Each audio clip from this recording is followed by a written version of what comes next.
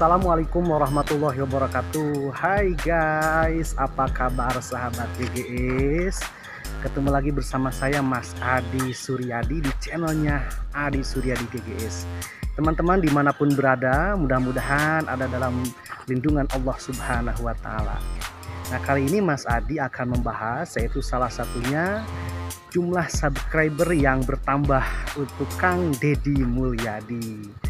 Uh, saya pribadi mengucapkan selamat buat Kang Dedi Mulyadi yang subscribernya sekarang bertambah menjadi 4 juta subscriber luar biasa.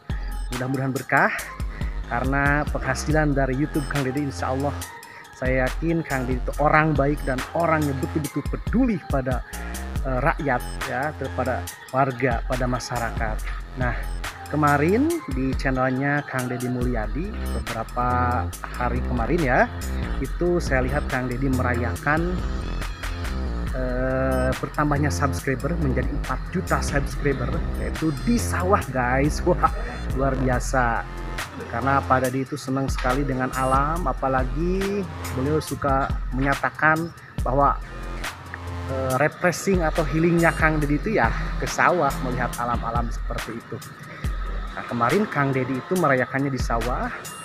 Uh, dia juga melihat ya Kang Dedi melihat ada seorang anak yang sedang menjalankan traktor guys di mana Kang Dedi dari awal sih melihatnya bukan anak-anak mungkin ya. Dia kelihatannya mungkin orang dewasa tapi pendek. Nah, ternyata itu anak-anak yang sedang melakukan pekerjaan membajak sawah dengan traktor.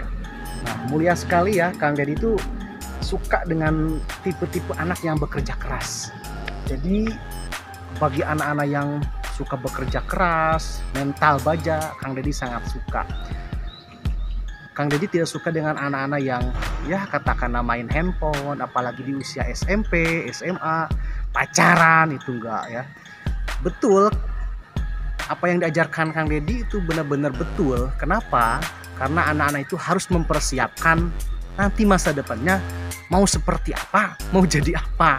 Nah, seperti hanya kemarin waktu ada kegiatan di salah satu desa, Kang Dedi bertemu dengan salah satu anak yang sedang memarkirkan kendaraan ya bawa senter. Nah ternyata betul anak tersebut itu suka parkir di dekat kantor kecamatan. Dan itu ditegur sama Kang Dedi dan diarahkan. Salah satunya kamu nanti mau jadi apa? Ya kalau kamu harus mau sejahtera satu sekolah yang kedua jangan seperti itu. Itu salah satunya. Sepertinya kemarin waktu Kang Dedi merayakan subscribernya yang keempat juta, nah itu di sawah itu. Ada seorang anak ya tampak malu-malu dan anak tersebut ya mungkin kelas berapa ya kalau nggak salah kelas 4 SD ya. Berapa ya? 4 kalau nggak salah. Itu sudah bisa membajak.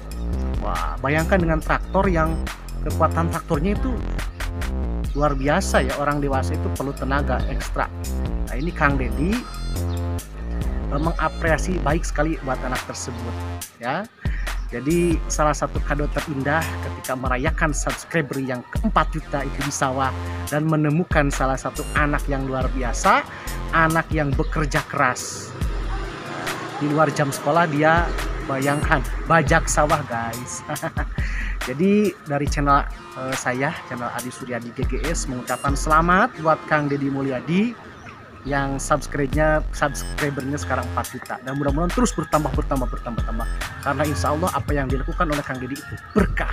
Oke okay, guys? Terima kasih itu saja dari channel Adi Surya di GGS mohon dukungannya juga dari teman-teman. Like share dan subscribe. Terima kasih wassalamualaikum warahmatullahi wabarakatuh